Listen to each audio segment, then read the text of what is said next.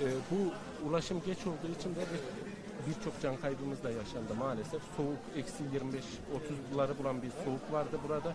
İnsanları ilk etapta merkezdekileri buraya topladık. Burada 2-3 binin üzerinde insan vardı ve e, burası da artçı depremlerden dolayı çok e, sallantı olduğu için insanlar buraya da ilk başta çekiniyorlardı girmeyi. Biz de kapının önünde ateşler yaktık, odunlar yaktık ve oralarda insanları yaşatmaya çalıştık ilk etapta ve e, yine e, sağlık ocağı olmadığı için oradaki e, çadır kurmuştuk, sağlık ocağı çadırı. Onu da rüzgar alıp attı. Ondan sonra mecburen buraya girmek zorunda kaldık. Burada da daha önce cenazelerimiz vardı maalesef buraya koyduğumuz onları karşıya aldık. Ondan sonra burada iki gün boyunca insanları e, ayakta tutmaya çalıştık. Bunun dışında da karşıda yine bizim e, İzmir Büyükşehir'den gelen otobüsümüzün içerisine 140-150 kişiyi de mazot sürekli e, otobüs açık kalarak e, içinde tutmaya çalıştık. Çünkü aşırı soğuktan dolayı bizim yaşlılarımızı da kaybedebilirdik zaten. Bizim kar yağışından dolayı e, şey, diğer mahallelerimizde ulaşımımız yoktu. Bizim e, bütün iş makinalarımızı biz kendimiz Nurak Belediyesi olarak kar yağışına e, önlem olsun diye mahalleleri Allah'tan koymuşuz. Onlar her bulunduğu mahallede enkazdaki çalışmalara da gittiği için yol açımı da olmadı ve biz 5. 6. günden sonra diğer mahallelerimizle sağlıklı bir şekilde iletişim kurabildik. Bizler kendimiz yürüyerek gittik mahallelerimize ölü yaralı sayılarımızı öğrenmeye çalıştık. Fakat yolları açmadığımız için direkt bir de profesyonel müdahale olmadığı için de maalesef e, ilk etapta 3 gün boyunca şey yapamadık hiçbir şekilde. E, biz müdahale edemedik ve artı bizimle beraber giden, yanımda giden kişiler de müdahale etmeye çalıştı fakat profesyonel olma- olmadığı için artçı depremlerden dolayı geri çekmek zorunda kaldım. Bizim en fazla kaybımızın olduğu kullar mahallemizde de yine dördüncü günden sonra zaten müdahaleler başladı ve birçok insanın e, orada maalesef cansız bedeni soğuktan maalesef donarak ve yanarak ölmeler çok fazla. Bir kısmı yandı öldü. Bir kısmı e, yardım gelmediği için içinde bağıra bağıra dona dona öldüler. Ulaşım gelmediği için insanlar içinde dondu öldü. Sonra 4-5 gün geçtikten sonra ne olursunuz cenazelerimizi çıkarmayın dediler. Kurtlar köpekler yiyor bizim cenaze, cenazemizi dediler. Kimse gelmedi.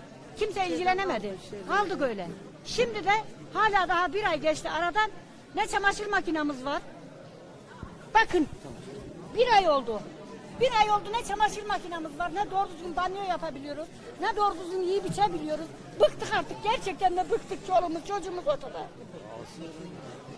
Reziliz ya. Bize vermiyorlar Nurhak diye bize yardım vermiyorlar ya. Biz Nurhak diye vermiyorlar. her bir ilk beri müdahale edilmiş gibi buradaki şeyinden sonra zaten buraya yardımlar gelmeye başladı. Biz ilk geldiğimizde inanın şunu hissettim ben de zaten özgür vekilimize de söyledik.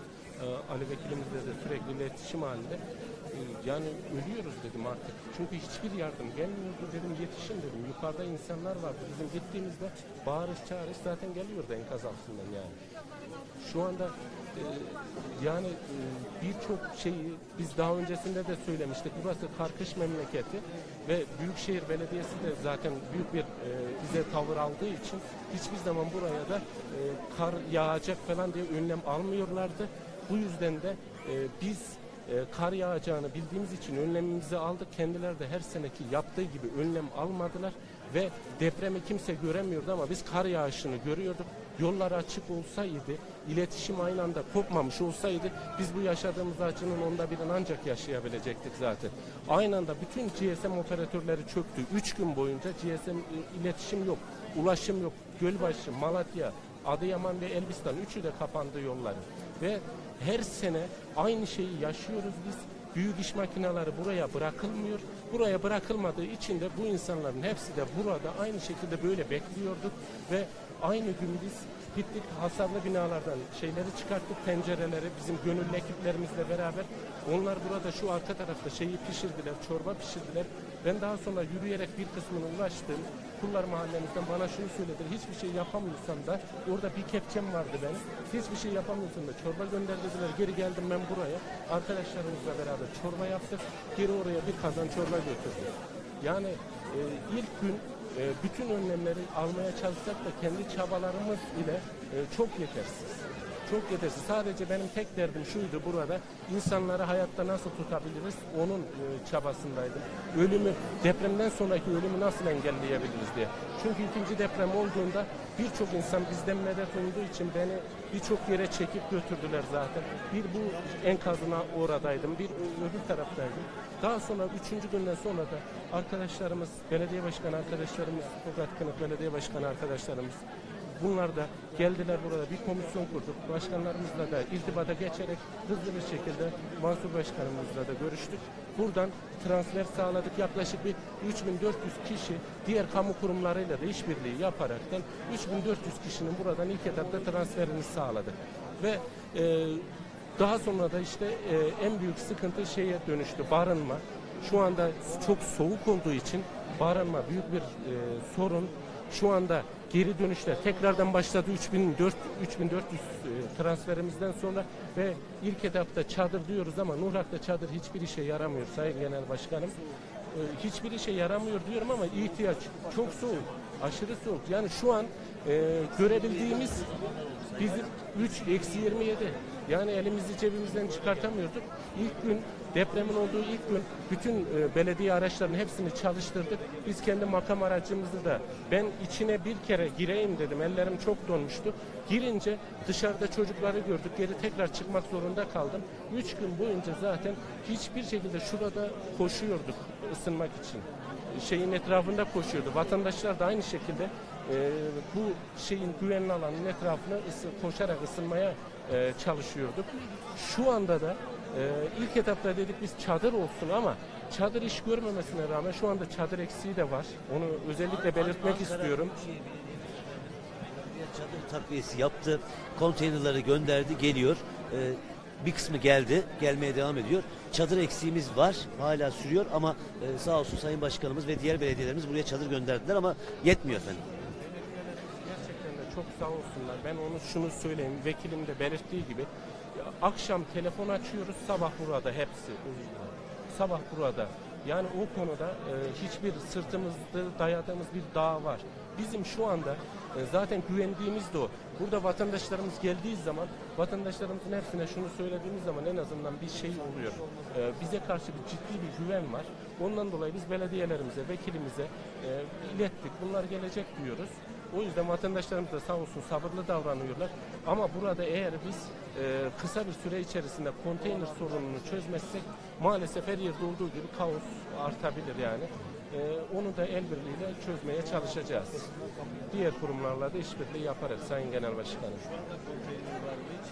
Şu an biz e, yine belediyelerimiz başta olmak üzere e, aldık vekilim, e, vekilimin de şeyiyle. E, ilk önce biz konteynerlarımızı Sayın Genel Başkanım hayvancılık yapanlarımıza çünkü hayvancılık yapanlar çadır kentlerde oturamıyorlar. Mecburen hayvanların çünkü hayvanların da gebe dönemi, doğurma dönemi biz onlara ilk başta vermeye başladık. Hayvancılık yapıp ilk önce çocuğu olanlar, engellisi olanlardan başladık. Yavaş yavaş diğer konteynerlarımız da geldiği andan itibaren bu işi bu şekilde halletmeye çalışacağız. Burası kırsal mahalle olduğu için hiç kimse konteyner kentte, çadır kentinde kalmak istemiyorlar. Herkes evinin bahçesinin içerisinde e, konteyneri istiyorlar. Çünkü yarın bağ bahçe başladığı zaman bağ bahçe işleri e, üretim durmaması için mecburen e, onların da o isteklerini yerine getirmek durumunda kalacağız. Sayın Genel Başkanım. Ee, bir de özür dilerim Sayın Vekilim. Şu anda Sayın Genel Başkanım Nurak'ta 5000 yapı var e, bizde. Bunun e, yaklaşık 1300 tanesi enkaz durumunda. E, 1300 tanesi e, ağır hasarlı yıkılacak. 730 tanesi orta hasarlı, orta, orta hasarlılar da büyük ihtimal yıkılacak. E, ve e, bunlar sisteme kayıtlı olanlar eski yapılar olduğu için 300-400 tane de sisteme kayıtlı olmayan ve yıkılacak binalar var.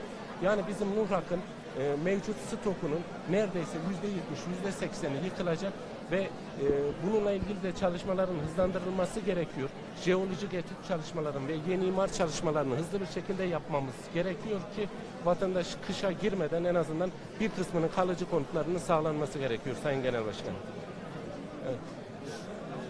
Arkadaşlarımız doldular.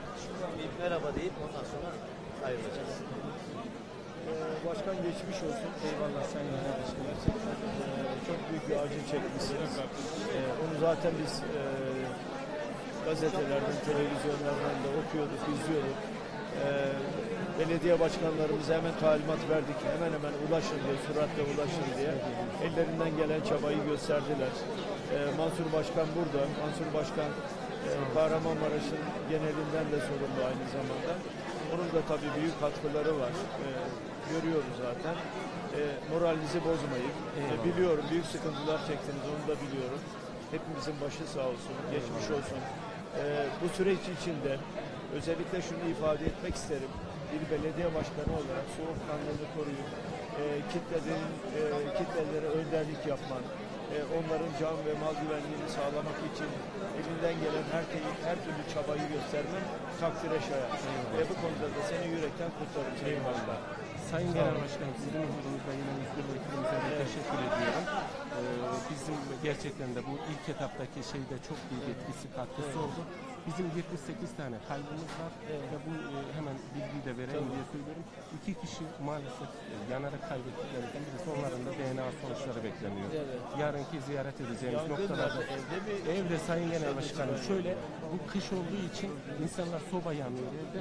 Ev enkaza dönüşünce o soba bir de geç müdahaleden dolayı e, şey olur maalesef. Yani ben ben şunu da söyleyeyim basın mensuplarındayken ben son derece hoş geldiniz. Kelimelerimi seçerek e, ifade etmeye çalışıyorum. Oysa o kadar doluyum ki. Yani bir kar temizlemeyi ben 4 yıldır belediye başkanıyım. Sürekli diyorum ki burada yollar kapanıyor. Sürekli diyor, diyorum ki iş makinesi yardımında bulunur. Çünkü bizim iş makinalarımızla yaptığımız çalışmaların her zaman kendileri yapıyor gibi e, ortaya koyuyorlardı. Şu anda ise muhakkak hiçbir zaman gi- giremediler. Daha öncesinde de ifade ediyordu. Biz bak siz giremiyorsunuz, çalışma yapmıyorsunuz. Çalışma yapılıyormuş gibi gösterildi. Bunda da giremediler ve sonucunu hepimiz öyle ağır ödedik ki yani e, nasıl söyleyeyim ben yani bu bir e, katliamı e, sanki art- arttırma şeyi gibi böyle. E, o kadar acı bir durum ki yani. Dediğim gibi sadece ben vatandaşlarımızı gördüğüm zaman o günkü yaşananları gözümün önüne getirdiğim zaman kızgınlığımızı da sadece şey yapmaya çalışıyoruz yani. Eyvallah Sayın Genel Başkanım. Size geçmiş olsun demeye geldik. Başımız sağ olsun. Geçmiş olsun. Allah bir daha böyle acılar göstermesin. Şundan emin olun. Gerçekten yaşadığınız acıları biz Ankara'da, İstanbul'da, İzmir'de, Türkiye'nin her coğrafyasında yüreğimizde hissettik. Bunu da bilmenizi isterim. Sizin acınız aynı zamanda bizim acımızdır. Bundan da emin olmanızı isterim. Yaraları sarmaya çalışıyoruz. Elimizden gelen çabayı göstermeye çalışıyoruz. Şu anda Ankara Büyükşehir Belediye Başkanımız Sayın Mansur Yavaş da burada. Diğer belediye başkanlarımız da hepsi burada, hepsi emrinizde.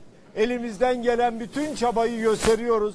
Sizin acılarınızı dindirmek için, var olan sorunlarınızı çözmek için elimizden gelen çabayı gösteriyoruz. Bundan sonra da göstereceğiz. Dediğim gibi sakın umutsuz olmayın. Türkiye güzel ve umarım hep birlikte daha güzel günleri yakalamak için mücadele edeceğiz ve bu güzelliği yakalayacağız. Sorun çok, sorun büyük ama bu bizi umutsuzluğa asla sürüklememeli. Türkiye'nin bütün sorunlarını Allah nasip ederse kısa süre içerisinde hepsini çözeceğiz. Hepsini daha güzel bir Türkiye'yi hep birlikte inşa edeceğiz. Bundan emin olmanızı isterim. Hepiniz, hepiniz Allah'a emanet olun diyeyim. Sağ olun. Evet efendim. Çok teşekkür ederim. Çok teşekkür ederim. Sağ olun. Arkaya, arkaya.